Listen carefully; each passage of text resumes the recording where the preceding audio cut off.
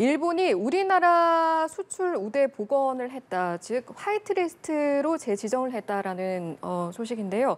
한일 양국의 수출 규제 약 4년 만에 이렇게 모두 해제가 되게 됐습니다.